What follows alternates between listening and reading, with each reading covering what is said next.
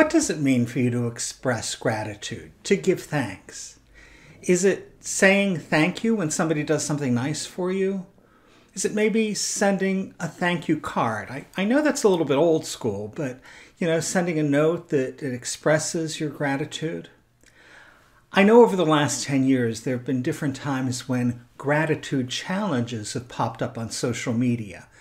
You know, in these challenges, people for a week or for 10 days or even a month will make postings about things they are thankful for and they'll express their gratitude. I don't know that saying thank you or sending a card or, or even a, an online challenge really gets at the heart of gratitude, of what it means to give thanks. I think gratitude is something that's, that's deeper than just a nice gesture or being polite.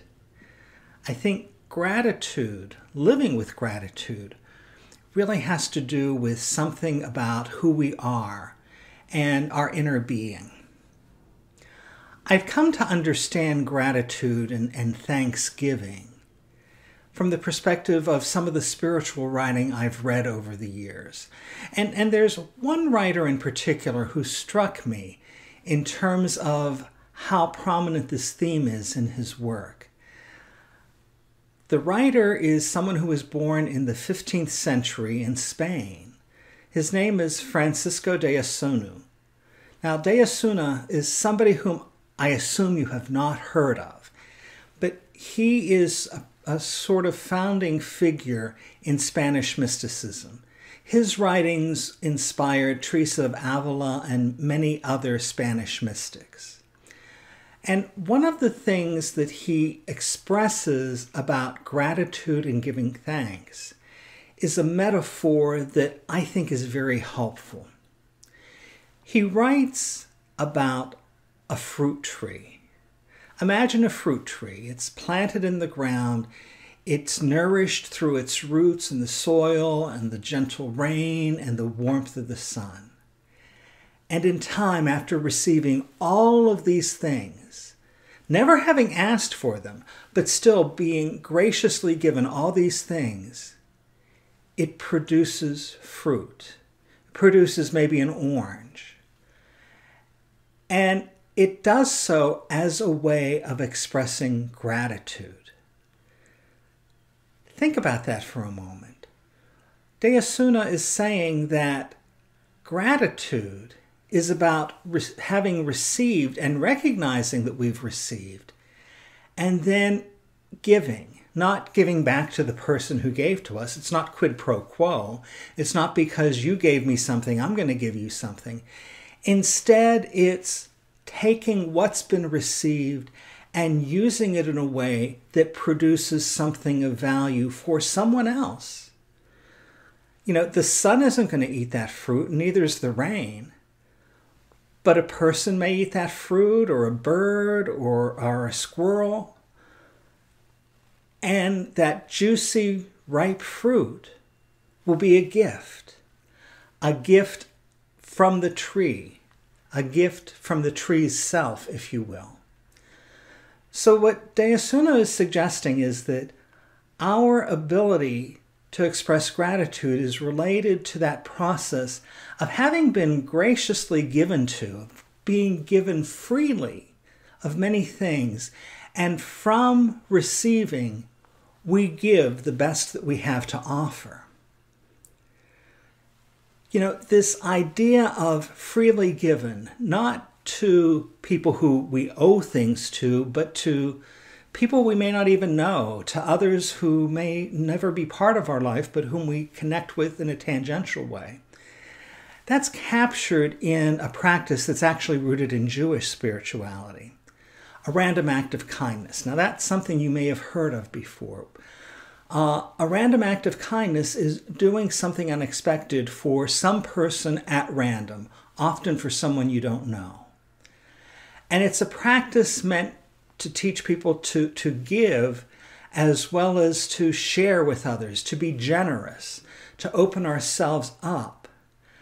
Uh, and, and so, you know, a random act of kindness may be paying the toll for the person who's in the car behind us or, or something unexpected. And it's that kind of generosity, that giving back, that De Osuna understood as being crucial to gratitude. That we're really expressing gratitude and thanksgiving when we're able to give. And it isn't so much the what we give, because we all have different abilities, but it's that we give. So that thanksgiving and giving are intricately intertwined. About 10 years ago, I first moved to Atlanta, and I was taken off guard by something that's quite common here. I was in a grocery store and having my groceries, you know, checking out. Somebody was packing my groceries.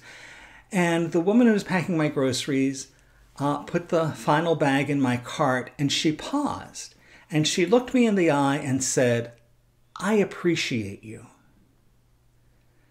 I was really caught off guard. I mean, I, I had presence of mind to say thank you, but no one had ever said that to me in that kind of context before. And that's something that I hear quite commonly here. Here she was doing something for me, packing my groceries, and her response was to say that she appreciated me. That's a practice of gratitude. That's a practice of recognizing that the people who come into our life, even strangers, even people for whom we're doing things, that we are thankful for them, that we appreciate them, that we appreciate the kindness that they show us. Thanksgiving. It's not about a meal. It's not about the turkey dinner or the day or football games. Giving thanks isn't about sending a card or sentimentality. A spiritual root in thanksgiving is about living in a way that expresses gratitude, that expresses gratitude and gives back, so that we are thankful, and because we are thankful, we in turn become gracious givers. We give what we can of ourselves for the betterment of others. Know today that I appreciate you. I appreciate that you take time to watch the videos on this channel, to think with me about dimensions of spirituality, and to consider ways to live better.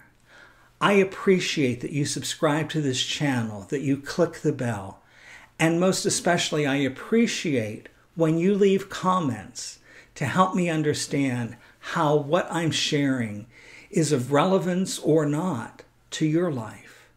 So know that I appreciate you and I'm thankful for your presence today.